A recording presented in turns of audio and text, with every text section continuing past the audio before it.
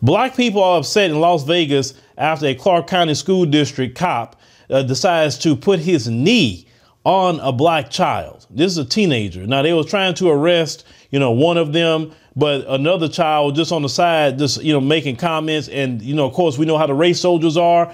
Grab up the child, slam the child on the ground, put his knee on him. And everybody say, "Wait a minute, this is similar to George Floyd. They shouldn't be putting no knees on on nobody." Period. After we saw what happened to George Floyd. Hey, hey, hey,